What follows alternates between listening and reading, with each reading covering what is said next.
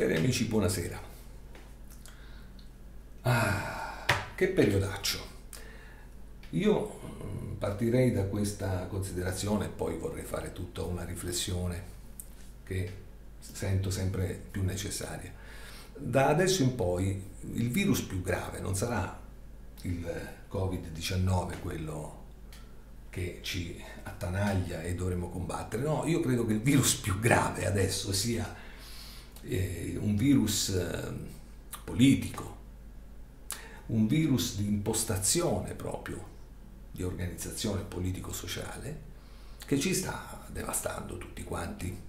Chi se ne accorge prima, chi se ne accorge dopo, chi se ne accorgerà, ma eh, purtroppo eh, all'analisi il dato di fatto è questo, che ci sono milioni e milioni di persone che non sono affatto contente, anzi molte sono disperate delle scelte di questo governo, di scelte proprio non solo più discutibili, ma deprecabili adesso. Adesso è proprio ridicolo, adesso bisogna partire non più col pennello dolce, adesso bisogna un pochino denunciare e accusare eh, le nefandezze delle scelte di questo governo, perché ne va della nostra nazione.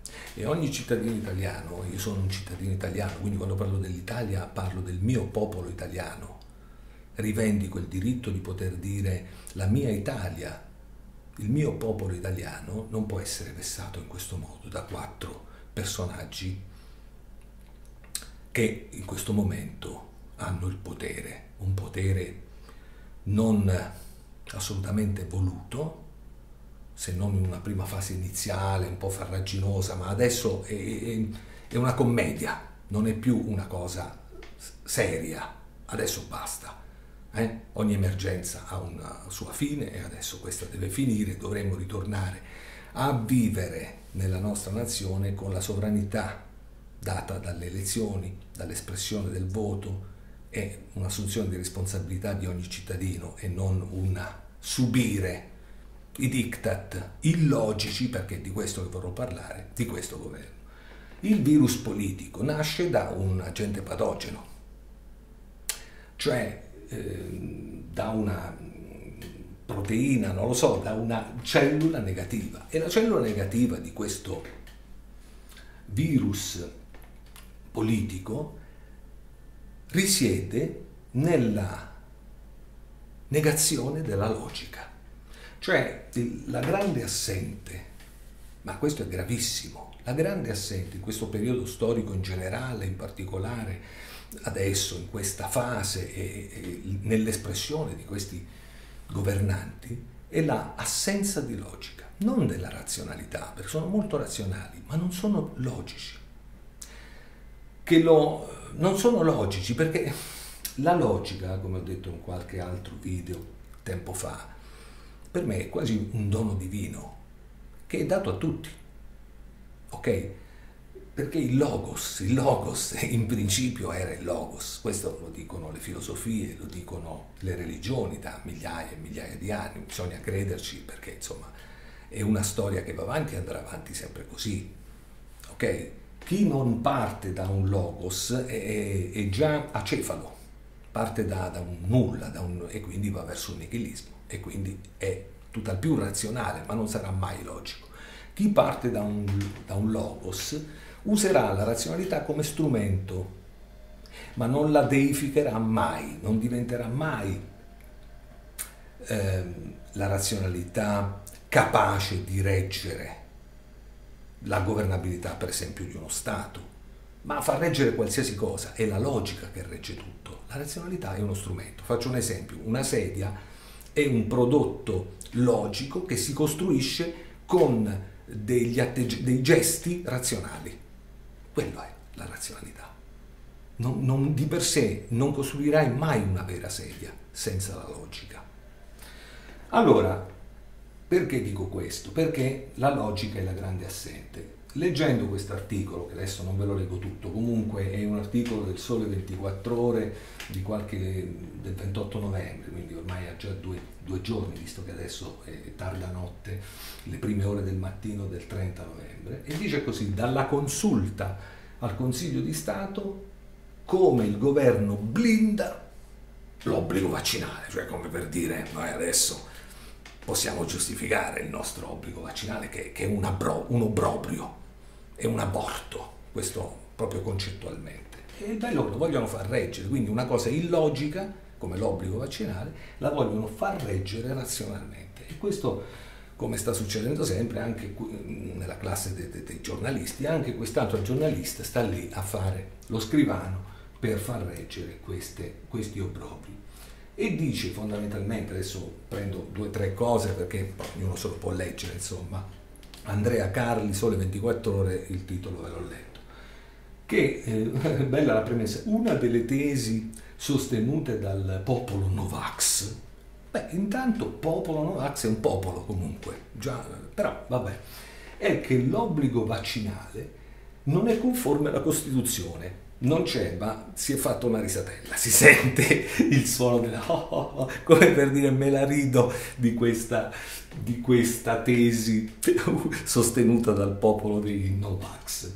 Va bene, e questo insomma poi dice che ci sono dei decreti, eccetera, eccetera, e dice che vengono per appoggiare invece la validità dell'obbligo ricordate alcune sentenze della consulta e del Consiglio di Stato eh, che hanno fornito sostegno giuridico alla scelta del governo per insomma, far entrare il 15 dicembre questo obbligo vaccinale non solo a tutti i sanitari che già ce l'avevano, ma anche ai docenti e alle forze del, ai docenti, alla scuola, al comparto scuola e alle forze dell'ordine.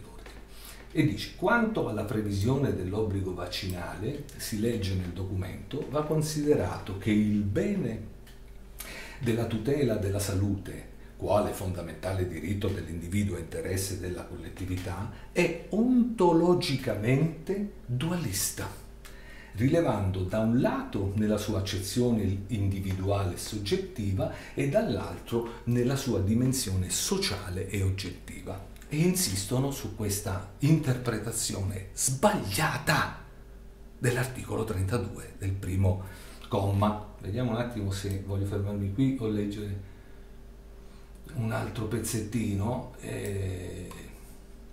Vabbè, ma intanto fermiamoci qui. E lo so che molti di voi che mi hanno già seguito nell'altro video hanno già sentito, ma vale la pena ripetere, sia pure in modo più succinto, sulla interpretazione di questa prima, ma voglio fare, questa prima proposizione del primo comma. Ma voglio fare una, eh, un, intanto una, una riflessione, ma io dico, ma può essere che dei costituzionalisti sbaglino ad interpretare un caposaldo della loro materia, materia su, per cui vivono, per cui operano. Ma eh, la logica l'hanno persa. Non, non, prima di leggere la Costituzione devi essere strutturato bene da un punto di vista logico perché se no non aiuta, ma qualche costituzionalista intelligente ci sarà, ma sono assenti, sono taciturni, non parlano, non, non frenano questa illegittimità, questa anticostituzionalità di questi decreti. Non lo fanno, quindi evidentemente li avallano, chi tace acconsente, avallano da un punto di vista costituzionale, avallano queste, queste aberrazioni. Questo che mi sconvolge, è come se, se io avallassi eh, nel mio mondo musicale diciamo, una, una interpretazione degenerata di, un, di una, un, caposaldo della musica classica come Bach o come Beethoven. No, non è possibile, non è possibile valere questo. E perché dico questo? Perché ancora si insiste sul dualismo, sulla dualità, eh, la posizione dualistica dell'individuo e della collettività. Ma mai nessuno, io l'ho fatto, forse qualcuno l'avrà fatto e mi è sfuggito, ma mai nessuno che definisca meglio, meglio, sempre meglio, bisogna lavorarci sul senso delle parole, la differenza fondamentale che intercorre fra queste due. Perché? Perché questi due termini, individuo e collettività, perché da lì parte tutta una definizione di questo periodo e quindi la possibilità o meno di legiferare in un certo modo o non legiferare. Allora parto dalla fine. Per me queste leggi devono essere abrogate, questi decreti, abrogati subito, cancellati subito, perché sono sbagliati sono sbagliati oltre che nefasti e quindi non solo non tutelano la salute dell'individuo e della collettività, ma peggiorano la salute sia in termini eh, morali, materiali, psichici, quindi creano ansia, creano disperazione, creano affanno, creano problemi, quindi è proprio già, come dire, da un punto di vista etico anticostituzionale, ma lo è anche proprio per la spiegazione che, teorica, teoretica che ne danno. Allora proverò a dare per l'ennesima volta il mio contributo. Quando si parla di collettività, si parla di un pensiero. Signori, almeno amici miei voi seguite me e non seguite gli altri buffoni.